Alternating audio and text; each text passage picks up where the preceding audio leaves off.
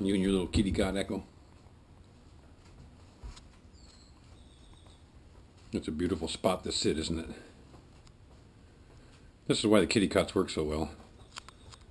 Is because your cat has this beautiful perch on windows.